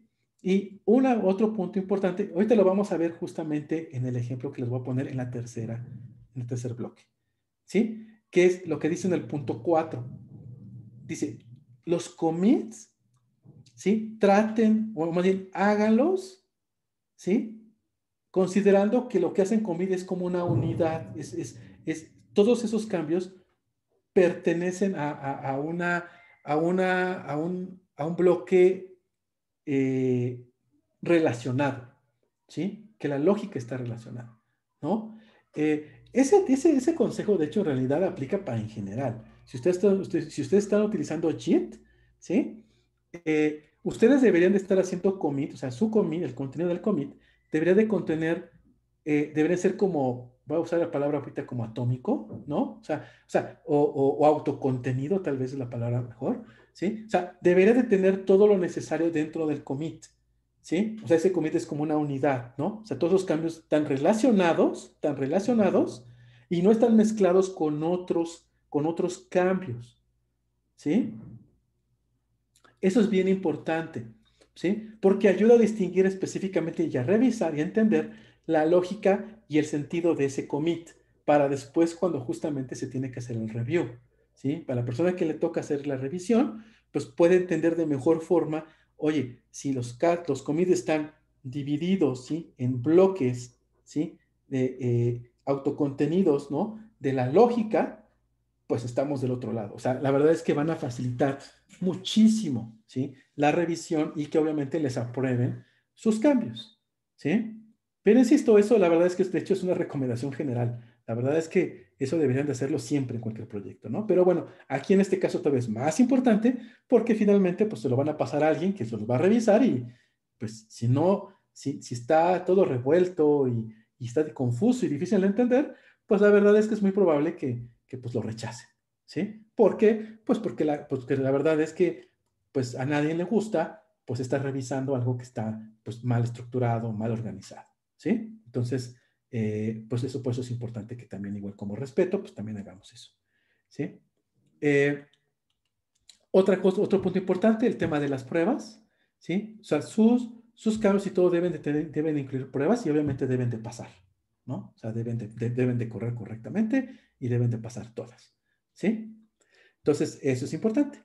La otra es justamente ahora sí hacer el push ¿sí? A su, a su repositorio del que hicieron el fork, ¿sí? Ya una vez que ya terminaron, ya dijeron, ah, mira, ya está documentado, con pruebas, este, el en un branch que, que hace referencia al issue que estoy atacando, ¿sí? Este, tengo mis commits bien, bien bonitos, organizados, justamente separados este, en módulos lógicos y todo. Ah, ok, perfecto. Entonces ahora sí hago un push, ¿sí? Contra mi rama. Otra vez insisto, a la rama, ¿sí? De ustedes, no a master, no a otra cosa, a la rama de ustedes. Y una vez que ya está eso, entonces ahora sí pueden abrir un pull request, ¿sí? Con un título y una descripción de qué es lo que ese pull request trae. Entonces, ese, ese joven sería justamente el flujo, ¿sí? Ese sería justamente el flujo que tienen que estar siguiendo, ¿sí? En ese orden, en esa forma, ¿sí? Para poder ustedes entregar un buen pull request, ¿sí? Ah, y que obviamente tenga altas probabilidades, pues de que se los revisen y los acepten, ¿sí?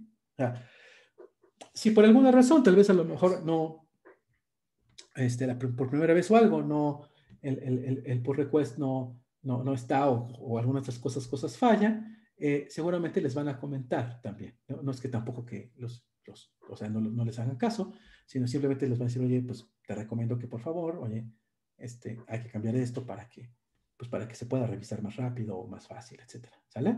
Entonces, esta es la secuencia, ¿sí? Esta es la secuencia. Eh, y listo.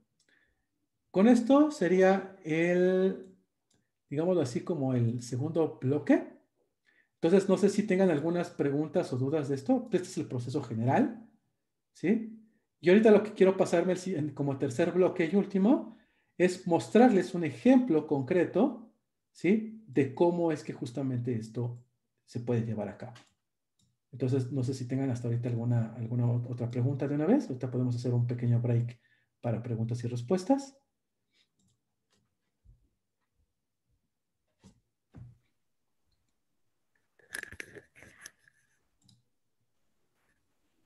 Ok.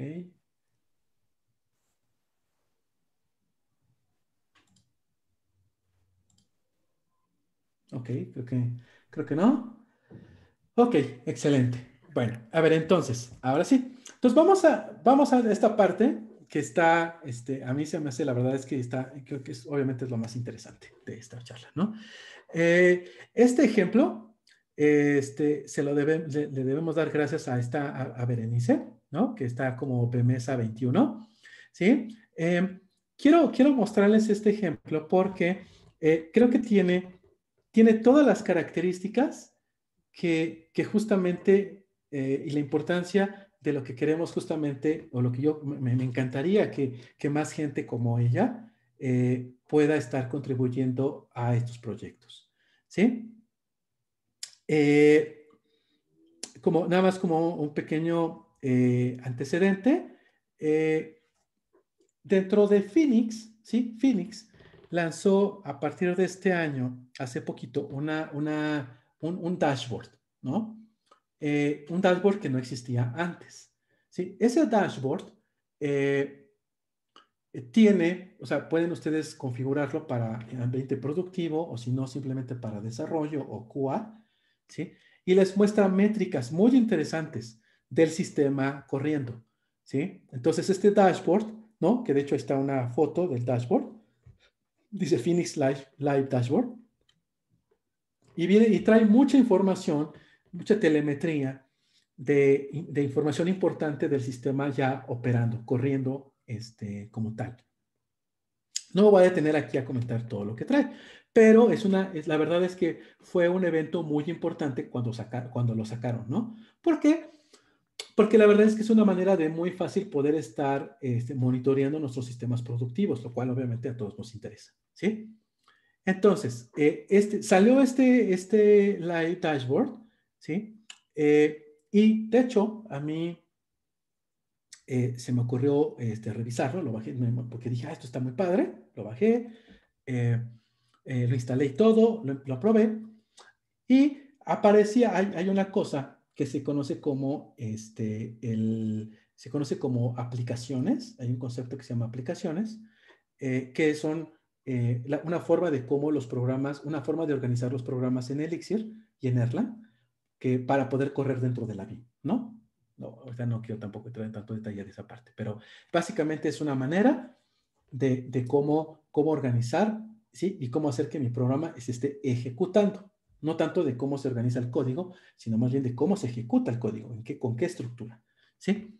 Y estas estructuras son estructuras de hecho de árbol, ¿no? Para quienes a lo mejor eh, llegaron a ver en la escuela estructuras de datos y les mostraban de pilas, este, colas, este, eh, árboles, etcétera. Bueno, de esos árboles estamos hablando, ¿no? Tenemos árboles, ¿sí? Estructuras de árboles. Y esa es la manera como se organiza una aplicación en Elixir y Erlang. Entonces, eh, cuando salió, yo estaba esperando que ojalá saliera la parte gráfica de eso, ¿no? Porque hay una aplicación, pero es una aplicación nativa, ¿no? Que corre en, el desktop eh, y que la verdad está, ah, tiene sus detalles, ¿no? A mí, eh, sí, desafortunadamente esa parte no está tan bien como yo quisiera, eh, pero además, pues es, es, una, es una aplicación de escritorio.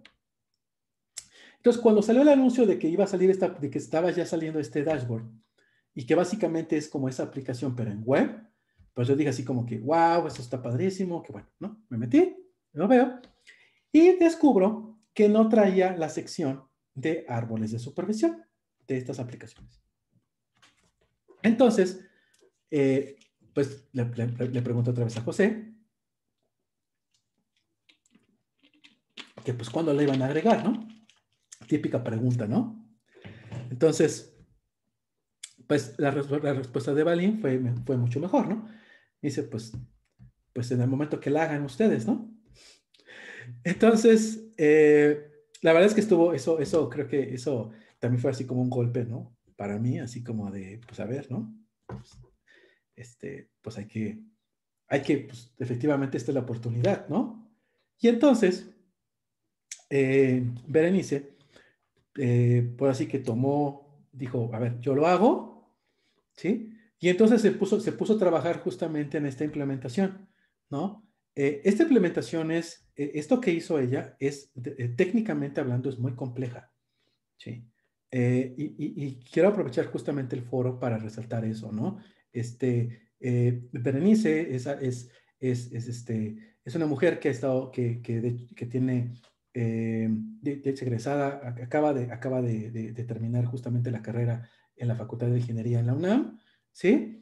y que pues empezó a trabajar con, con Elixir y que tomó justamente este, este, este, este tema que es muy grande, ¿no? Eh, no es trivial, ¿no? Tuvo que utilizar eh, muchas cosas que tienen que ver desde el punto de vista también de estructuras de datos, algoritmos y todo, o sea, de verdad aplicarlos para poder resolver justamente y poder pintar, ¿no? Ver justamente cómo poder pintar justamente en el canvas, en la parte de web, cómo hacer ciertas cosas de, también de, invocación del lado de, Elixir, etcétera, etcétera. Entonces, eh, la contribución, la verdad es que es, es, es, bastante grande, bastante importante, ¿sí? Eh, tan es así que eh, el mismo José, de forma personal, me, me escribió para decirme que era eh, este había sido uno de los pull requests más impresionantes, así lo puso, más impresionantes que le pasado en años. ¿Sí? Entonces, pues la verdad es que pues obviamente es, es, es, este, es muy, muy, muy agradable, muy, muy, se siente muy bien el hecho de que el trabajo de, de, una mujer mexicana este, eh, eh, tenga el impacto y tenga el reconocimiento que tuvo justamente este, este, este, este, este pull request y esta contribución, ¿no? Que de hecho, ahora que fue el Elixir Conf, este, también en el keynote, este, volvieron otra vez a resaltar justamente esta contribución, ¿no? Entonces yo creo que, por eso creo que esta contribución de ella, ese trabajo excelente que ella hizo, em, pues definitivamente creo que sirve, puede servir como un ejemplo, un buen ejemplo y como un parámetro para todos ustedes, todos ustedes, hombres, mujeres que quieren contribuir, eh, pues para que vean justamente como referencia eh, cómo pueden justamente ustedes hacer y vean que sí, que sí lo pueden hacer, ¿no? Claro que se puede hacer y claro que se puede aportar cosas súper valiosas, no, no cosas chiquitas, no solamente cosas chiquitas, que también son buenas, ¿no? Pero también cosas que son, que son realmente trascendentales, ¿no? Para un proyecto. ¿No? Entonces, miren, vamos a examinar, ¿sí? Vamos a, vamos a ver justamente la estructura y vamos a ver justamente cómo es que ella lo fue haciendo, ¿sí? Vean, con esto fue con lo que ya inició, ¿sí? Y pone, ¿sí? Aquí en su petición, dice, work in progress, ¿sí? Para indicar que justamente es algo para lo cual ella quiere retroalimentación, ¿sí? O sea, ella, ¿sí? Ya avanzó, ya estuvo trabajando, ¿sí? Pero cuando hace la petición, ¿sí? Para la revisión, no está diciendo, oye, miren, ya entregué esto, ya está, eh, métanlo, este, oigan, pues ahí este, esto ya quedó, está padrísimo, entonces ahí va. No, no, no, no. Tranquilamente, si sabes que, a ver, miren, este son, este, es algo que está en progreso. Eh, ¿Qué tiene que ver? Es Application Staff with Supervision Trees, ¿no? Ese es el, el, issue como tal, la cosa, el, trabajo, el, tema central, ¿sí? Y luego vean lo que pone, ¿no? Dice, oye, lo que estoy, lo que, lo que traté de hacer fue esto, ¿no? Breve, ¿no? Esto es lo que quiero hacer. Y luego después viene cómo es que lo está atacando, ¿sí? Entonces dice approach. Y luego viene, ¿no? Empieza a decir, ah, mira, para construir el árbol de supervisión, tra, tra, tra, tra, tra, hice esto, paso uno. Paso dos, el tema del dibujado de los árboles, ¿no? Ta, ta, ta, utilizando puro pintado pectorial, la, la, la, utilizando, fíjense esto, utilizando una versión, mi, propia versión del algoritmo de Reingold FIFO. ¿No? Entonces, explícito, sí, claro, concreto, ¿sí? Sobre qué es lo que está haciendo, qué es lo que, qué, qué, qué es lo que quiere y cómo lo está tratando de atacar, ¿sí? Y pone unos screenshots, ¿no? Y dice, a ver, mira, esto es lo que estoy tratando de hacer, ¿no? Pone un ejemplo de lo que ya ahorita se está pintando, la información además que se está viendo, ¿sí? Incluso todavía comenta, ¿no? Dice, bueno, pues estoy viendo la, la mejor forma de poder justamente implementar el árbol de supervisión, ¿sí? Y luego viene otra sección que dice issues, ¿no? O sea, ¿qué problema tengo ahorita? ¿O qué cosas estoy viendo que no me gustan o que no me convencen? ¿Sí? Y luego y empiezo a poner y dice, ah, mira, lo que pasa es que en, el, en la aplicación nativa de desktop original, ¿sí? Saca esto, este árbol de acá, ¿sí? Pero yo, a mí me sale esto. Y la verdad es que no me queda claro por qué, ¿no? O sea, creo que es por aquí, por acá, pero no me queda claro. Entonces, pues me gustaría, este, pues saber, tener feedback. Aquí dice, estoy esperando feedback, ¿sí? Del de, este trabajo y pues saber qué, y pues para, para poder seguir continuando, ¿no? Y pues para variar, pues inmediatamente el que conteste José Valín, ¿no? Y entonces, ¿qué dice, no? Dice, no, pues esto está, esto, se luce súper bien, muchísimas gracias, ¿sí? Oye, yo ni siquiera conocía del algoritmo, este, pero pues se, ve padre, entonces me voy a meter para ver, ¿sí? Y entonces dice, voy a empezar a hacer el, el review completo del código, Dice, pero, y ya empieza a dar recomendaciones, ¿no? Dice, oye, mira, yo creo que es importante, que sería bueno desacoplar esta parte de esta parte, porque con eso ganamos la, la, la, la, ¿no? Y ya, viene la explicación ahí de, José. Y luego, ya cuando está haciendo él, después, bueno, ese es su primer, su, primer comentario de, de, José Balim sobre esto. Después viene la parte donde ahora sí, ya que hizo el review, ¿sí? Ya más a detalle, ¿sí? Empieza a decir, observaciones muy puntuales. Dice, por ejemplo, dice, no, no, oye, pues es que, mira, no necesitamos este, navegar todo el árbol, bla, bla, bla, entonces de eso podemos hacer pattern matching, en fin, ¿no? Y va poniendo aquí los comentarios y todo, ¿no? ¿Para qué? Pues para que, para que esta, esta pueda verlos, ¿no? Eh, después continúa, dice, bueno, estoy pensando, ¿no? La mejor manera de poder este, hacer esto, y empieza a dar recomendaciones también igual de cómo obtener la información, eh, le pregunta a ella también, ¿no? Le está preguntando, no, no, o sea, no es así como que se lo impone y nada más así como que dice, no, pues es que no, esto está mal y mejor hazlo así, ¿no? O sea, también del otro lado, pues es también una apertura de, oye, pues, a ver, mira, a mí se me ocurrió esto, le dice José Valim, a, ver, y dice, ¿tú qué opinas, no? Y pues ver, ya la revisa y dice, ah, pues sí, dice, pues, pues sí, me suena. O sea, creo que es, creo que es una muy buena, muy buena idea, ¿no? Y continúa, ¿no? Oye, pues esto es la, lo que yo creo que podría ir por acá, las sugerencias, etcétera. Explica cuáles son los beneficios de hacerlo de esa manera, otra vez, ¿no? No solamente es decir, es que esto está mal o esto es así o se hace así, sino, sino además también es por qué, ¿no? O sea, cuál es la lógica o por qué se cree que esto va a tener un beneficio, ¿no? Y eso también se los platico porque también puede ser útil para ustedes para cuando a ustedes les toque estar del otro lado, ¿sí? pues tomen en cuenta esto, ¿sí? O sea, esta parte también no solamente es de quien quiere contribuir, sino también para aquellos que van a recibir la contribución, pues que es importante que este diálogo, ¿no? Se dé, pues, de, esta manera, ¿no? De manera muy cordial, ¿no? ¿no? Y bueno, continúa otra vez aquí, si pueden ver, o sea, le invirtió, o sea, a mí me tocó estar de repente viendo esto y, este, las 3 de la madrugada, las 4, las 12, o sea, y, José ahí contestando y revisando y, haciendo comentarios, justamente poniendo ejemplos, ¿sí? Todo, todo este tipo de cosas, ¿no? Y ya, bueno, ella va explicando, da las gracias también, oye, pues muchas gracias por, pues, por tomarte el tiempo, por estar, este, por estar ahora sí que este, revisando esto, muchas gracias por todos los comentarios, los tips, ¿no? Porque le dio muchos tips también de, oye, mira, creo que este código puede quedar mejor esta, con este estilo, esta forma, mejor puedes usar el Elixir mejor de esta forma. O sea, todo ese tipo de cosas, la verdad es que al final del día, pues también son, son valiosas, pues para quien contribuye, ¿no? ¿no? Y ya, continúa ahí con comentarios, ¿sí? Le hace, hace otros comentarios aquí de algunos problemas que salieron, etcétera, ¿no? otra persona que también empezó a, otra persona que empezó ahí también a participar, ¿sí? Y empiezan ahí toda la colaboración, ¿no? Y me voy, ¿sí? Ya después digo, aquí si gustan pueden ir leyendo cada uno de estos, pero déjenme irme a una parte que me interesa bastante.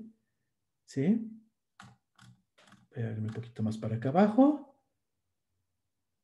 ¿Sí? ¿Sí? Vean cómo toda la interacción con gráficas, con, o sea, para ayudar justamente a que esto sea, pues obviamente mucho mejor, ¿no?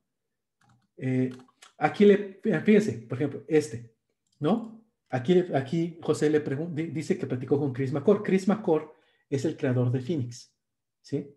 Entonces, José Balín le dice, oye, fíjate que yo hablé con Chris McCord y, nos estamos preguntando que si en lugar de que si el árbol se esté pintando hacia horizontal, pues que si mejor fuera vertical, ¿no? Eh, y, ella contesta, dice, mira, pues de que se puede, se puede, pero hay un problema porque si, el árbol, o sea, se expande, entonces va a ser muy complicado poderlo, poderlo manejar, ¿no? Visualmente. O sea, es más fácil, este, curiosamente sí es más fácil manejarlo pintado así, o sea, para la persona que lo va a ver, que lo va a hacer. Y entonces José Benítez dice, ah, pues, ah, sí tienes razón, ¿sabes qué? No, olvídalo, sí, mejor que así se quede, ¿no? No pasa nada, ¿no? Siguen otras cosas, recomendaciones de algoritmos, ¿sí? Y por aquí, ¿cuál está por acá? Aquí está. Y cuando empieza a hablar del tema de pruebas, ¿sí? El tema de pruebas, ¿sí? Eh, aquí, esa parte también aquí fue un reto, una parte muy compleja, porque el problema es, oye, yo quiero, que, a ver, yo quiero ver cómo puedo validar o probar que lo que yo estoy dibujando está correcto. O sea, yo le paso un árbol, ¿no? Los, los datos para el árbol, ¿Y cómo puedo checar que el árbol se esté pintando bien? ¿Cómo puedo automatizar eso? ¿Cómo puedo validar que, efectivamente las cosas estén correctamente? ¿No?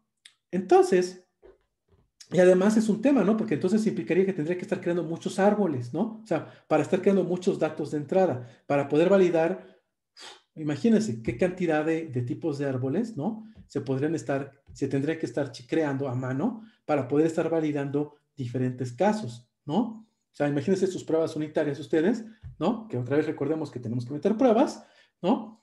Eh, pues imagínense, ¿no? Tendré que crear, ¿cuántos? ¿Les gusta? 100, 200, 300 árboles, ¿sí? Estarlos, ahora sí que ya haciéndolos a mano y después estar para cada uno estar corriendo la prueba para ver que el árbol esté bien, pues obviamente es una locura. Entonces, sale el tema de que utilice eh, de que en lugar de hacer eso, mejor utilizar una cosa que se conoce como property testing. ¿sí? Para aquellos que no hayan escuchado, les recomiendo mucho que vean esa, este, esta forma de cómo crear pruebas, ¿no? que se llama property testing. Y la idea central es de que ustedes definen justamente propiedades del algoritmo del código. Y a partir de eso, ¿sí? de esa definición de las propiedades, el framework de pruebas genera cientos o miles de casos para poder probar y validar que las propiedades se están cumpliendo. Entonces, para muchos escenarios, sí, es excelente porque con eso, en lugar de tener que estar creando a manita todos los insumos, ustedes más bien se enfocan en automatizar y para, definiendo las propiedades que quieren. Y una vez que hacen eso, entonces ahora sí, sí, se lo pasan y entonces le dicen, oye, a ver, corre las pruebas y les genera cientos, miles de casos ¿sí? Y contra eso hace las pruebas y checa que todo esté bien. Entonces, Bere no había visto nada de esa parte, ¿sí? Pero se metió, se puso ahí a aprender cómo hacerlo y lo sacó. Y aquí podemos ver justamente otra vez, ¿sí? Como José Balim aquí me dice, ¿no? Dice, oye, estas propiedades están increíbles, ¿no? Excelente trabajo, ¿sí? Le da una sugerencia nada más de, y aquí es otro tip importante. Fíjense, le dice, oye, ¿qué tan difícil es utilizar Stream Data en lugar de Prop Check? Dice, ¿por qué? Dice, Stream Data es más pequeño, ¿sí? Pero también otra cosa importante que tomen en cuenta, jóvenes, para sus contribuciones en proyectos open source. Las licencias, ¿sí? Entonces, si ustedes en sus contribuciones, ¿sí? Van a utilizar algo de un tercero, ¿sí? Tengan mucho cuidado, verifiquen y validen que la licencia sea compatible con la del proyecto al cual ustedes van a contribuir. ¿sí? Porque si no, entonces, pues pueden, o sea, pueden meter en problemas al proyecto porque a lo mejor están violando alguna, alguna, de alguna licencia, ¿sale? Entonces, también ese, ese, es clave. Por eso les digo que este ejemplo, la verdad es que me gusta mucho todo esto, porque salen muchas cosas, entre ellas, lo que les dije ahorita de, temas de property testing, hágalo, pero la otra cosa importante es el tema de licenciamiento, ¿sí?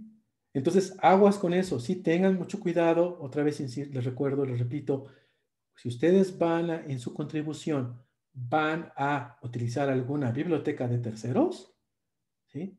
tengan la el tiempo para asegurarse de que la licencia es compatible con la del proyecto al cual van a hacer la contribución. ¿De acuerdo? Aguas con eso, ¿sí? Pues muy importante, aquí pues se detectó, este, ella este, estuvo trabajando en eso y lo cambió.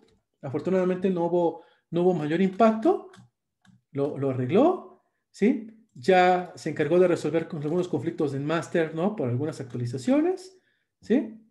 Este, ya quedó así de algunos detalles, se preguntó de que si, iban si se iba a integrar de cierta forma y listo, jóvenes, ahí está. ¿Sí? ¿Sí? Se cierra justamente la, contribución. Entonces, eh, pues este es, este, es el, este es el ejemplo que quería darles. También igual la liga de, todo esto este, se las pasamos, ¿no? Para que les puedan este, para que si quieren verlo más a detalle, ¿sí? Eh, hay aquí, ah, una cosa que se me estaba pasando. ¿Se acuerdan que lo que les comenté de los commits, no? Y, de la regla justamente para poder que sus commits estén bien hechicitos. Bueno, pues aquí lo pueden ver. Miren, vean, 11 commits. Vean, vean los, los 11 commits de ella. ¿Sí? La definición, ¿sí? si se meten a cada uno de ellos, ¿sí? Para que vean justamente el código solamente sobre ese punto y viene explicado perfectamente, o sea, no viene revuelto con ninguna otra cosa, ¿sí? Viene así, suba así, o sea, así, de verdad, de verdad así, de 10 jóvenes, esta, esta, esta, esta, este, esta aportación, ¿sí? O sea, honestamente, por eso, eh, la verdad es que, eh, les digo, vean, aquí está, mira, cómo, miren, cómo, miren, cómo cada conviene separado, vean, dice, set tree, not variable width, un cambio. Change last generation. Change tree drawing format. Randall Tilfold initial test. Create property-based tests for Randall Tilfold algorithm. Use stream data instead of proc check. Ya ven cómo eso fue algo con un commit separado. ¿Sí? Change assign defaults for assign mount on app live. Ahí está. ¿Sí? Y así pueden ver todos los commits de ella. ¿Sí? Cómo justamente ¿sí? Respeta eso justamente de que sean, los commits sean unidades, ¿sí? Estén separadas, estén bien organizadas, se puede entender, se puede, con el título puedo saber qué estoy esperando que voy a ver en el código cuando yo lo abra y lo quiera revisar, ¿sí? En lugar de que lo abra y me encuentre con 500 líneas y es que agregué pruebas, pero también cambié el algoritmo, pero también este, ahí va metido lo del, lo del pintado en el SVG y, o sea, pues no, se está, se vuelve muy complicado, se vuelve muy complicado el poder justamente estar eh, para la persona que lo tiene que, revisar, pues, híjole, a veces imposible, ¿sí? Entonces, otra vez, digo, me, me, estaba pasando comentar ese detalle, pero bueno, ahí está también, ¿no? Justamente esto que comentábamos de cómo deben de ser sus commits, ¿no? Y como les comentaba, pues ahí está, ¿no? Entonces, sí, entonces, la verdad es que al ver todo esto, la verdad, no me sorprende lo más mínimo el comentario que yo les decía que me hizo José Balín, digo, me buscó este, en persona, y para decirme que de verdad, así como dijo, o sea, es, es el commit, es el pull request más impresionante que he recibido en los últimos años. ¿Sí? En un proyecto donde está participando gente de todo el mundo, ¿sí?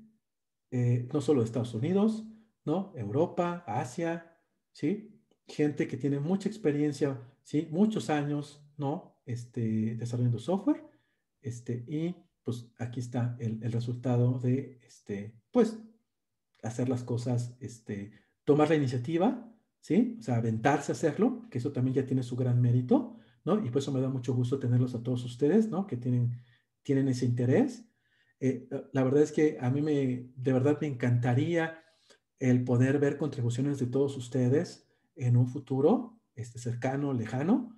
Eh, creo que eso es, como les comentaba, creo que es justamente lo que necesitamos, ¿no? Que se note más justamente cómo hay gran talento. Yo no tengo la menor duda de que en México tenemos un talento impresionante, en América Latina tenemos un talento impresionante, pero desafortunadamente este, luego no, pues no se ve, ¿no? Y no se ve porque no se tenga, sino porque simplemente luego a veces no nos animamos a, este, a, participar y hacer las cosas. A veces pensamos que tal vez es algo eh, que solamente alguien de fuera este, eh, puede realmente hacerlo, eh, alguien que tiene mucha más experiencia solamente, y no es así.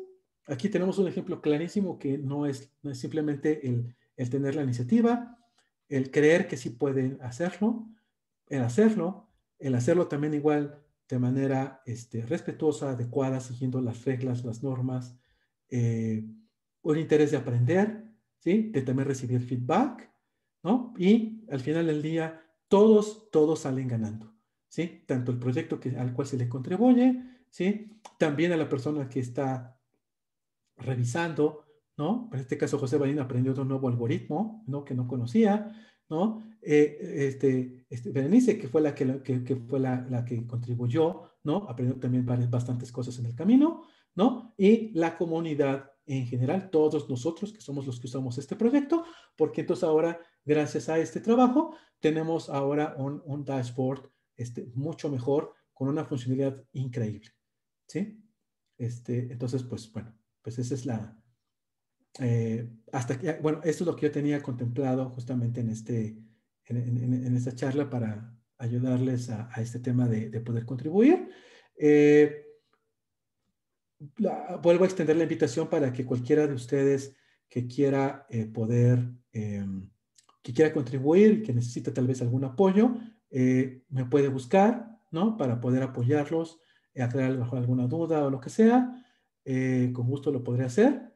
Eh, y pues bueno, este, a sus órdenes y pues otra vez, pues muchísimas gracias por, por acompañarme, ¿sí? Aquí en este, en este momento. Y de verdad, ojalá que los vea pronto este, sus nombres, igual que aquí a, a Berenice, este, haciendo justamente más y más este código para todo el mundo, ¿no? Muchas gracias este, a todos.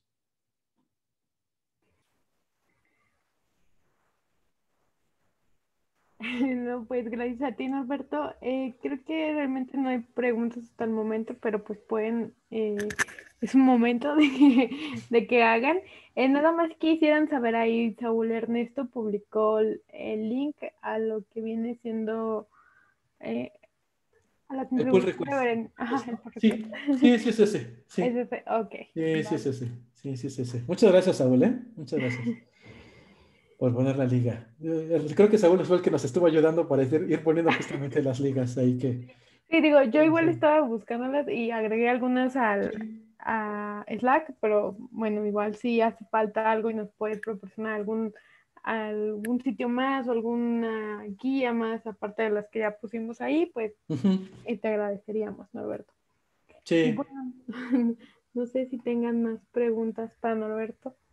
Eh, algo que te quería comentar es, eh, mm, no sé si te comentaron, bueno, va a haber un sprint de contribución, bueno, es el propósito el día de mañana y el sábado, ¿no? Y el día de mañana se está buscando que haya como un espacio de mentorías más o menos como de 7 a 9, entonces si pudieras como igual entrar en esos, en ese lapso, digo, no precisamente a partir de las 7, sino en ese horario para les estamos avisando ahorita precisamente a los asistentes que si tienen alguna duda, eh, las diferentes talleristas, algunos ya nos confirmaron que sí pueden estar en ese horario, entonces si puedes eh, y te das un tiempo, pues nos encantaría que estuvieras ahí en ese horario, digo, no, no todo, este, un tiempo que te des por si hay alguna pregunta en específico que a lo mejor ahorita me está surgiendo alguna duda o algún error en el que les puedas ayudar, te lo agradeceríamos mucho. Ok, sí, por supuesto, por supuesto. Es este a través de eh, el Slack. Sí, va a ser a través del Slack, eh, tengo entendido hasta ahorita.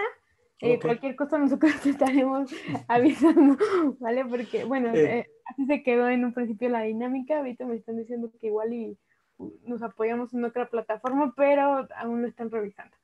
Ah, ok, perfecto. Sí, no, con todo, sí, por supuesto, con todo gusto. Sí, digo, voy a hacer todo, o sea, o sea, sí, a ver, sí, sí estaré, este, en, en, en tiempos, digo, trataré de a lo mejor incluso tener el Slack abierto por si, ahorita a lo mejor ando con otras cosas, pero estaría ahí dándome vueltas para ver si sale algo, y sí, con todo gusto, por supuesto. Vale, muchísimas gracias. Pues creo que nada, no hay este, dudas. Ahorita igual estoy revisando en el canal de Slack si hay alguna. Eh, me parece que no. Entonces, pues muchísimas gracias, te agradecemos. Eh, bueno, aquí comentan de que los motivaste mucho. Ojalá sí haya eh, contribuciones para este framework este, de parte del, de los asistentes. Entonces, no sé si quieras agregar algo más, eh, algún comentario o algo más. Este, no, este, pues la verdad es que solamente, si quieren nada más para, este, por si, justamente por lo que les comentaba, digo, aquí está mi contacto, ¿no? En, eh, en, este, en Twitter o por correo también. Eh, igual para que si de verdad, ojalá que sí se animen, o sea, yo sí me gustaría cerrar otra vez con eso, de verdad yo creo que jóvenes o sea, no dudo que todos los que están ustedes ahorita aquí tienen el talento, tienen la capacidad para poder de verdad contribuir a hacer cosas verdaderamente padrísimas, ¿sí? Eh, lo tienen, es simplemente nada más que eh, se animen, eh, que, no se preocupen, que van, van a poder estar en un, en un, entorno, como ya vieron ahorita, amigable, este, donde se van a estar seguros, ¿sí? Para poder contribuir, ¿sí? Y que, este, y que van a recibir apoyo y que van a aprender muchísimo, ¿no? Entonces, eh, pues esa es otra vez la invitación, ¿no? Y ojalá de verdad, de verdad sería yo el primero en estar sumamente contento en poder ver este, contribuciones por parte de ustedes. ¿sí? Vale. Pues muchísimas gracias, Norberto, primero por tiempo, darnos, eh, por compartir eh, toda esta información con nosotros, digo, parte de tu conocimiento al fin y al cabo. Entonces, pues esperamos que, que haya pues sí, que haya preguntas el día de mañana, la verdad es que sí, porque es importante que, veamos que realmente eh, podemos contribuir como tú lo comentas. Entonces, eh, agradecerte tanto del equipo de SG como el del COS que hayas estado en el, en, el evento y por supuesto impartiendo este taller. ¿Vale? Y bueno, a todos igual, pues como les comentamos, eh, esperamos ver sus contribuciones. El stream va va a empezar el día de mañana. Eh, esta grabación se va a compartir con ustedes eh, en un